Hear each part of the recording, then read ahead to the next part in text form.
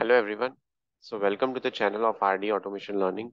So today we are going to see few of the interview questions that are asked at Infosys company.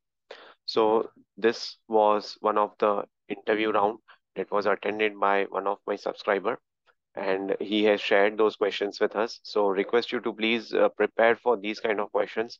It's not necessary that uh, once you will get selected at Infosys, then you will get all these questions, but uh, you might get these questions in other companies as well, right? So I'll uh, quickly share my screen and I'll show you the questions also.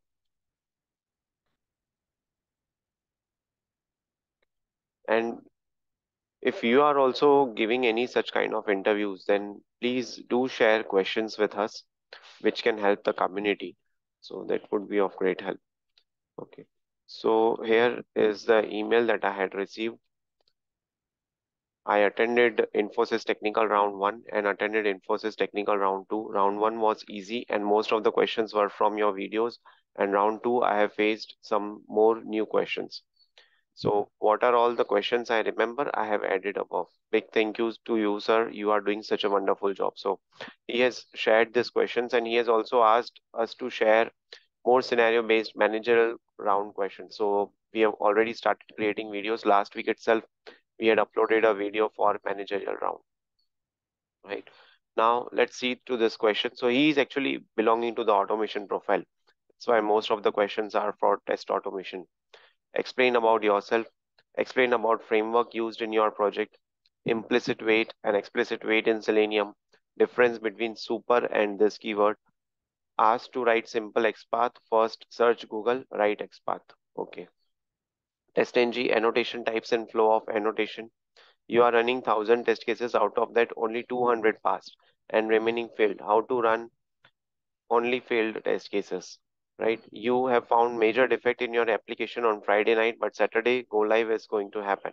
At that time, what you will do? There are two weeks of sprint and there are five user stories out of that. You are able to test only three user stories. Two are not completed at that time. Then how will you convince the clients? How do you pass test case in Jira? Is it manually or some automation you are using? JMeter, how do you add samplers? How to pass cookie in JMeter sampler?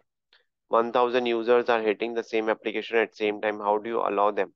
Is all 1000 users you allow or how do you do? Then can you add multiple catch block for single try block? Emulator and simulator concept. There are 100 links in web page. How do you count that? And which locator do you use for finding the xpath okay which one is best to use? What are the types of xpath any way to test scripts in different browsers with same machine same script. Okay. Information about collections you have used in your project. What is the difference between before test and before method in TestNG different git commands you used in the project. Tell about your project and responsibilities. Different types of java exceptions you have faced in your project. How do you handle different windows in selenium? Explain about switch to and how do you use that. Different priorities you used in TestNG how do you use JS files in your scripts? Okay, then this is a pyramid kind of a coding program that he was asked. Then if the input is today is Friday, reverse the words in string. Friday is today. This should be the output. Input is B1 to AR.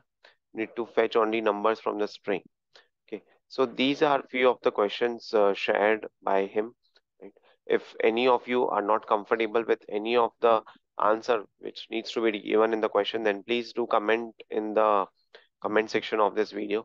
We'll come up with a separate video on covering the answers also of those particular questions because I think most of the questions have already been answered in the mock interviews. Those are scheduled, right? So if you also want to give the mock interview, you can share your CV at this particular email address, which is rdautomationlearning at the rate of gmail.com. You can share your CV at this. Also, you can subscribe our channel, RD Technical Learning, right?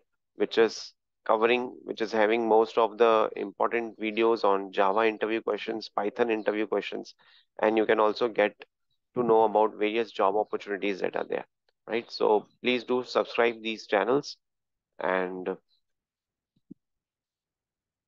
would be connecting with you virtually soon in another video, right? Thank you so much for watching this video. Stay tuned for more updates.